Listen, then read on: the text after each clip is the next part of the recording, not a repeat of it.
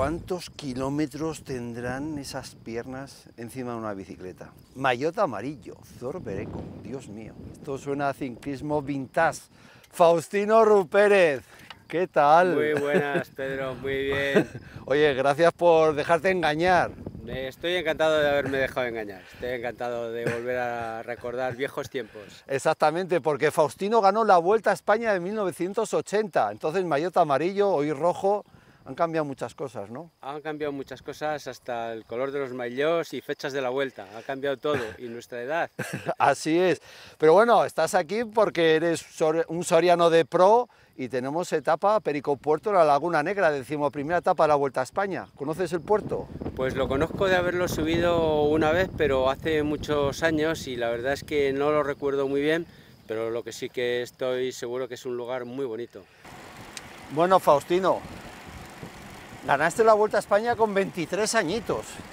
Increíble, ¿no? Oye, ya sabes, no sé si sabes que el ciclismo moderno, la gente joven está arrasando, pero yo siempre digo que antiguamente también había gente joven que ganaba. También, también, sí. ¿Qué recuerdas de esa, de esa Vuelta a España? Pues la verdad es que me vino todo como muy, muy, muy rápido, muy de golpe. De hecho ya en el 79 hice cuarto en la Vuelta, ¿Eh? la ganó Zuetemel.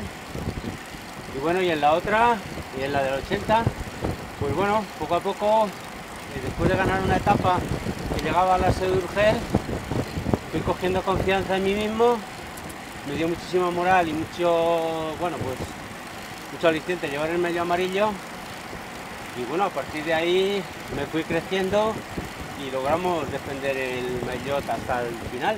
¿Quién tenías ahí de rivales? Pues de rivales estaba Roberto Vicentini, Pedro Torres. Joder, sí, sí. Eh, bueno, José Luis Viejo.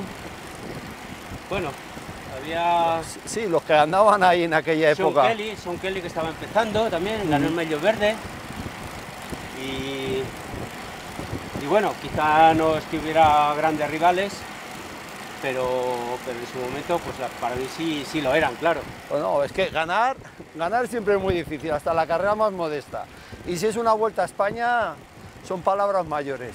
Pues sí, la verdad porque incluso hasta el penúltimo día en la, en la, etapa de los puertos pues pasé grandes apuros en la Morcuera. Y bueno pues la verdad es que tenía un buen equipo con Miguel Mari Lasa que se quedó ahí a echarme una mano, hacia el arroyo. Y bueno pues logramos salvar esa esa etapa que era ya pues la penúltima. Sí, la clásica. sí. la clásica de Guadarrama ya, y la Sierra de Guadarrama para la última gran etapa de montaña. Pues va a ser la segunda vez que se llega aquí a la Laguna Negra en la Vuelta a España. La primera vez fue en el 2020, año que todos recordamos tristemente por la pandemia. Y bueno, ahí por desgracia no hubo público, veremos este año. Yo creo que aquí en Soria se ha llegado pocas veces en la Vuelta a España, pero que una, un final de estas ah, no hay que perdérselo. Es, como muy atractivo, sí, porque además es un entorno privilegiado para, para poder ver la vuelta y para poder disfrutar de la, la naturaleza. Estas rectas largas, que muchísimos nervios, además hay muchas raíces de los pinos que da bastante inseguridad a los ciclistas y la lucha será por mantener una buena posición para, ya sabes, entrar ya bien colocado en los momentos claves a falta de cuatro de meta. Bueno, Faustino, ¿montas mucho en bici o no? Pues la verdad es que no monto en bici, mucho no, no monto nada. ¿Y eso? ¿Que acabasteis ya enfadado con, el, con la bicicleta? Sobre todo por el esfuerzo que cuesta. Monto más en moto que cuesta menos trabajo. Le he cogido el gustillo y mira, como que me ha gustado más que la bici ahora. Aquí tenemos una pequeña subidita que va a ser el preámbulo a calentar bien las piernas antes de afrontar lo más duro de la laguna. Eh, eh, que me vas a atacar ahora. Me lo he pensado mejor, mira. Me, voy a aguantar las ganas. Bueno, ves, aquí esto agarra un poquito, pero todavía falta lo más gordo. Se puede llevar, esto todavía se puede llevar. Se, este momento se, aguanta. Servirá además para hacer un, limpiar un poquito, porque aquí con la tensión que ha habido, el repecho este y esta bajadita, bueno, ayuda para que cada uno encuentre su sitio. ¿Y cómo tiene las piernas? ¿Para ganar o para sobrevivir? pues ahora mismo para sobrevivir de momento. Me recuerdan las de, mi, las de la época. Sí, porque ahora están súper bien asfaltadas. ¿eh? Pero es que esta es auténtica. Es auténtica de las de antes. Mira, mira, mira cuánta información tengo aquí ya. Madre mía. Aunque no lo Da conociese, miedo eso, ¿eh? rojo, demasiado rojo hay aquí. Estamos ya a falta de 5 kilómetros para coronar. Ahora es donde la zona que más agarra. Aquí vamos ahora al 7-8%. No es un puerto para que los pros pasen grandes problemas, pero habrá dos etapas, ¿no? ¿No crees tú?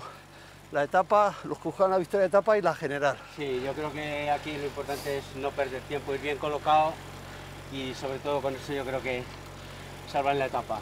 Sí, pero al final las diferencias ya en el 2020 cuando llegaron fue los mejores llegaron prácticamente al sprint. Y Sí. yo, yo creo que algo parecido pasará. Sí, aquí no es un puerto como para sacar tiempo. Creo que más bien es para no perderlo. Vamos para el caballo. Suave Faustino que me quedo. Que tienes algún año más que yo. Lo que nadie sabe que fuimos compañeros de equipo.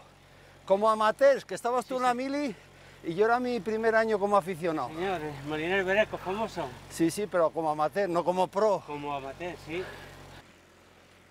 Venga, que no hay dolor. No hay dolor. ¡Viva la épica del ciclismo! Venga, Faustino. Voy al límite. Venga, 10%, esto no es nada. Esto ya no es para mí. Venga, hay que morirse. Aquí alguno va a apretar de lo lindo, 10%. Esto y la rampa final, el último kilómetro, lo más duro. Venga, que ya lo tenemos. Hay que cogerle a ese, Yo voy al límite y no es broma. hay que coger a ese. Venga, viva la épica del ciclismo. ¡Viva! Me estás dejando sin aire. Bueno, Qué buena compañía. no me acordaba ya de lo duro que era esto. Madre mía, Mira, hombre, solo es el 10%, tampoco es para tanto. menos mal. Buenas tardes. No te veo muy fluido, ¿eh? ¿Y qué haces además de ser ciclista? Bueno, ciclista, trabajamos y hacemos alguna marcha clásica, como una famosa, la histórica, Ah, sí, aquí, en- cerca de aquí, en Abejar. aquí en Abejar, en Soria. Buah, esa está bien. Yo ya he estado por ahí dándole a los pedales. Con mi mayor Reynolds y mi bicicleta Pinarello. Bicicleta retro de aquella época. Ya, pero no vas nada retro, ¿eh? Vas muy moderno tú aquí, ¿eh? Ahora sí, Es que si no, estos puertos eh, no hay quien suba.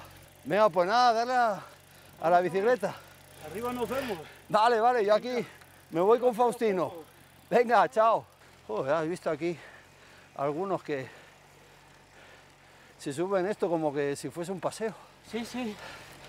Eso es lo que puede parecer, ¿eh? Pero vamos, ya es inminente el descansito. Ahí metemos plato grande, cogemos aire y viene el último kilómetro y medio que sé sí que aquí no jugamos la victoria de etapa. ¿Me lo vas a Voy muy decir? mal, ¿eh? Voy muy mal, ¿eh? Sí, no me fío de Yo ti. creo que vamos a ver si llegamos a un acuerdo. Yo recuerdo de ti que eras muy zorrete, eras muy listo. Yo siempre recuerdo a Javier Mínguez que decía, director tuyo muchísima, toda tu- casi toda tu carrera, ¿no, Javier? Toda, toda. Siempre decía, el corredor más listo que he tenido, Faustino Rupérez. Bueno, gracias por el cumplido. No, no, eso díselo a Mínguez. Lo que pasa es que como fallan las fuerzas, eh, la inteligencia se te va por... Desaparece por igual. Sí, sí, igualmente. Oye, cuesta abajo va mejor que cuesta arriba, ¿eh? Ya te digo. Mira, mira, mira qué rampa. ¡Oh! Aquí para arriba. Aquí te esperaba yo. Qué bonito es el sitio este. Vaya, qué bonito. Qué pena no poder verlo bien. Oye, vas, vas sobrado. No te creas, ¿eh? Las apariencias engañan. Nada, nada, un kilómetro y ya estamos arriba. Eso sí, es el kilómetro malo. Este es el chungo, sí. Nunca me has hecho nada, de verdad, nunca me has hecho nada y cuando éramos compañeros parece que tenía algo pendiente contigo. Me estoy, Te lo estás cobrando, ¿eh? me está entrando una Cualquiera diría que te debía algo. carga de pena. Pero bueno, aquí ya los pros te puedes imaginar, 500 metros, 10%, a darlo todo como nosotros. Sí, sí. No estamos guardando nada. Yo por lo menos. No, no, joder, para no montar en bici estás aguantando como un titán. Vas a acabar conmigo. No vuelvo a contar contigo para ningún perico puerto más, veo. Nada, nada, nada, ni se te ocurra. Venga, Piensa en otro. venga, a 50 metros, que esto se acaba ya, el dolor de piernas. Ahora a comer bien.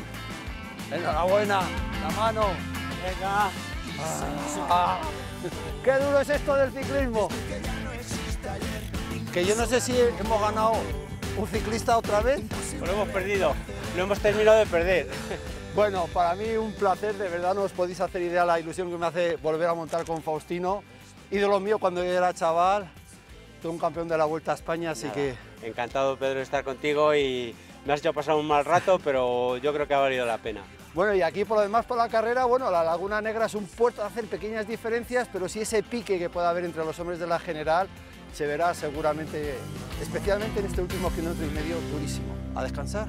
A descansar. ¿O ¿O qué? falta nos hace? ¿O volvemos a repetir? No, gracias. Venga, Vamos a va. dejarlo para otro día. Venga, muy bien.